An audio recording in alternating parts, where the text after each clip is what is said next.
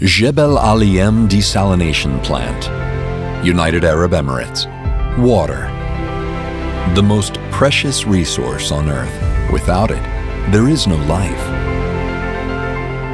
Nowhere is this more evident than in the desert.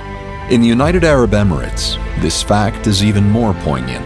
The limited amount of water that is available in the region has come under strain as cities like Dubai continue to grow. The response has been to use the latest in technology to extract potable water from the sea, a process called desalination.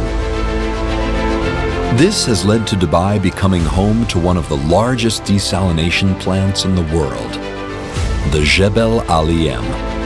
Built by Fisia Italimpianti, a subsidiary of WeBuild, it produces 636,400 cubic meters of water a day. Its eight desalination units are among the largest in the world, each producing 80,000 cubic meters of water a day.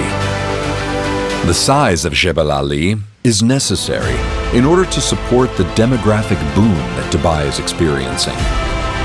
Thanks to the desalination facility, the city took little time to transform itself from a tiny fishing village to a city of glitz and neon. Jebel Ali M is an icon in the desalination industry.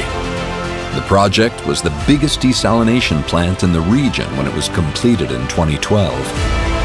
It was also nominated by the Global Water Awards for the Desalination Plant of the Year award.